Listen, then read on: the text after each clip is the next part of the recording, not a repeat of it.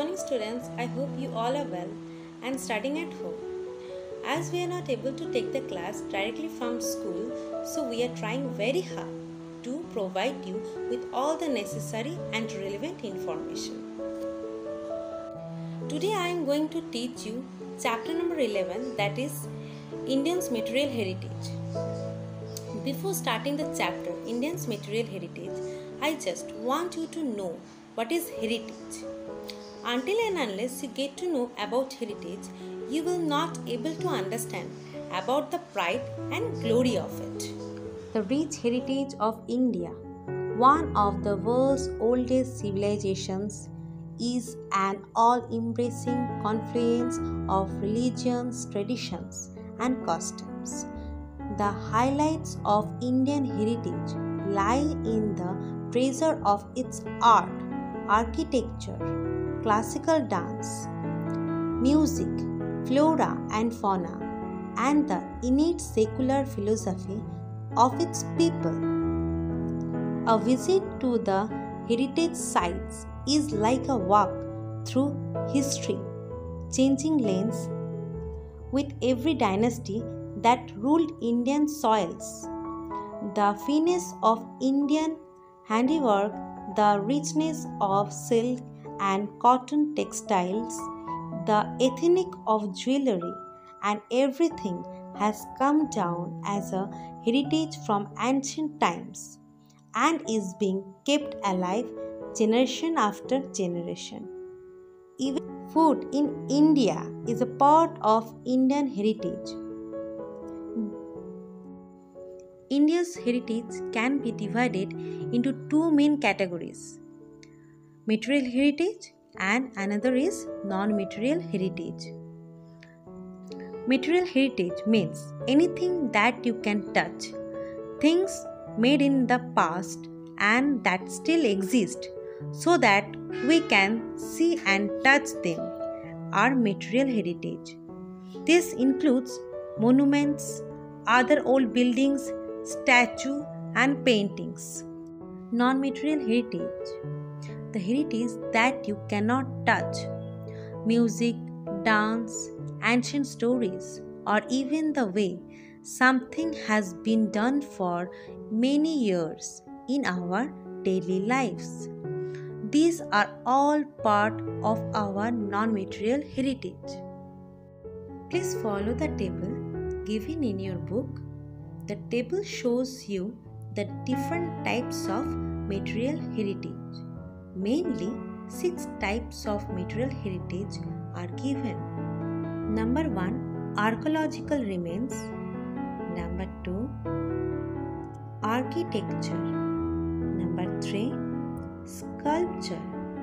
Number 4 Paintings. Number 5 Books. Number 6 Objects of daily use. Archaeological remains. Archaeological remains are ancient man made objects, structures, or ancient burials that have been preserved on the earth's surface, underground or underwater, and serve as the objects of archaeological study. Archaeological remains are the material historical source that make it possible to reconstruct the past history of human society, including mankind's prehistory. Basic archaeological remains include war tools, weapons, domestic utensils, clothing, ornaments, etc. Architecture Architecture is the art and science of designing buildings and other physical structure. A wide definition often includes the design of the total built environment from the macro level of town planning, urban designing, and landscape architecture to the macro level of construction detail and sometimes furniture.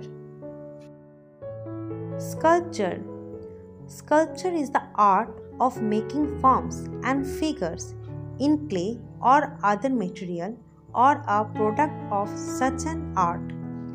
It is a branch of the visual art that operates in three dimensions. It is one of the plastic arts. Painting Indian painting has a very long tradition and history in India art. Though, because of the climatic conditions, very few early examples survive. The earliest Indian paintings were the rock paintings of prehistoric times. Books such as holy books and other literature. Objects of daily use. Object of daily use means the things which they used on their daily basis. For example, utensils, musical instruments, clothes, etc. That's all for today. I hope this content will help you in your studies. I urge you to go through all the videos which I am providing so that you don't miss anything important information regarding your chapters.